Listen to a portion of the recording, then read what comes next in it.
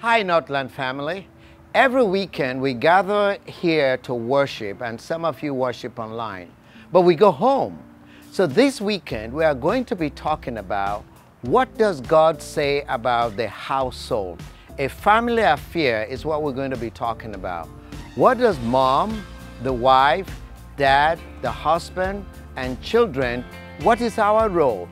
Also, we're going to be talking, we all go to work each weekend, some in the home, some outside of the home. But God has said in His Word, what is the household responsibilities that we all have.